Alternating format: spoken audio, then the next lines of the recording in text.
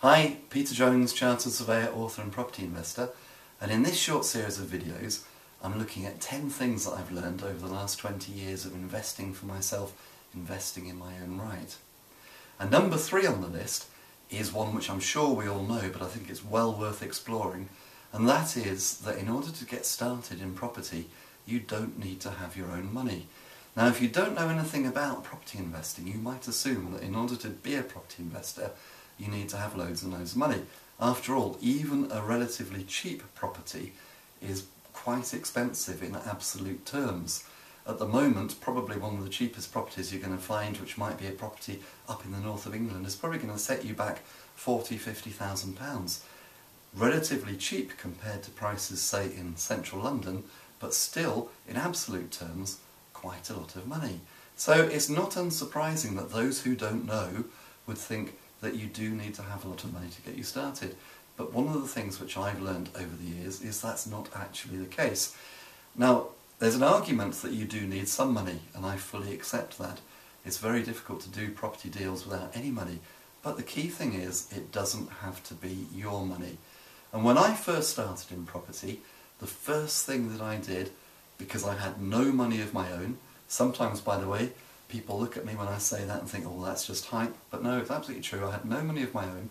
And I started by remortgaging my home and taking equity out of my home, which I was able to use as the seed capital for my business. Now, it may be, if you're just starting out in property, you might be thinking that you've got to spend years and years and years saving up your first deposit. Well, by using the equity out of my own home, I managed to get around. I didn't have to save up for years and years and years to save up the deposit for my first property and by using equity from my home I was able to buy eight properties in the first year of being an investor. So all of these slow ways actually are not the right way to do property investing. And even since I've been investing in property, things have changed so much. The concept of using JV partnership funds, where you'll find a business partner who will either come in and do a deal with you, perhaps on a 50-50 basis, or somebody just to lend you the cash so that you can give them a decent return and they will finance your, your deal in return for getting their return. It's become far more mainstream. Also using techniques such as no money down. Now sometimes you go onto the forums and you'll see people say things like, well, no money down is illegal. I'm sure there are forms of no money down deals which are illegal, but there's plenty which are above board and are perfectly legal. So the use of options, the use of instalment contracts, delayed completion, rent to rents, all that kind of thing, perfectly good. Things which probably when I first started 20 years ago people weren't using and people weren't really talking about.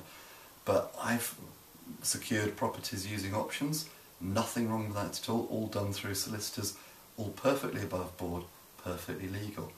So there are so many different ways that we can do property nowadays with no money or with very little of our own money that really if you really want to get into property I'm sure that there's a way, no matter what your financial situation at the moment, even if it's initially just starting by sourcing deals for other people. Having said that though, if you can source deals, you can probably source JV partners who finance deals for you, which means you can probably even keep a stake with, of the property. So there we are, things have changed an awful lot. So until next time, here's to successful property investing.